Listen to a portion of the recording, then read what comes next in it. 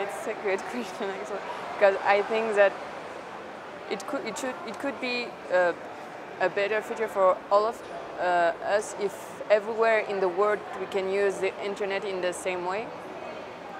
But I also think that it could be a limit, so it's a little bit I'm divided into parts. But I think that like um, if we could use internet in France, like in America, like in China, it will be a good uh, improvement in the future.